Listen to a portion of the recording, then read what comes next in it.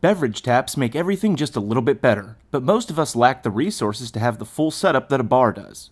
Let's change that. Today we're going to make a keg out of a watermelon. If you have access to a 3D printer, we can even print out the tap ourselves. To start off, we need to obtain a tap that can be mounted into the watermelon itself. I asked the guys over at Robo3D if they could help design one. They went to work on it and it came out awesome. If you want the plans, you can find a link to the download in the description.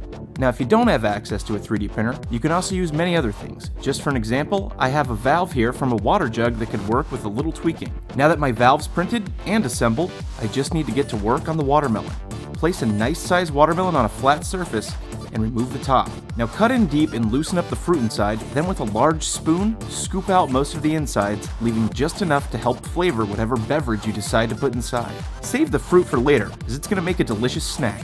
After we have the melon hollowed out, it's ready to tap, and then we'll get our beverages going. Cut a hole about half the size of the tap directly into the watermelon. Pop it out with your finger and clear out any fruit. Be careful not to make it too large, as you want it to be a very tight fit to form a seal. After the hole was ready, I took my valve and slowly worked it into the melon. Looks like we're ready to go. Fill up the watermelon with lots of ice to keep things chilled, and then pour a beverage of your choice.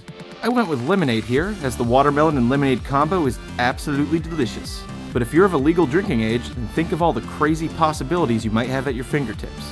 After everything's ready to go, you can place the lid back on the melon and pour yourself a nice, cold beverage straight from the tap. These things are awesome at parties, and people love the novelty of drinking out of watermelon. So give it a shot and have fun this summer. Save money on that keg, and we'll see you next time.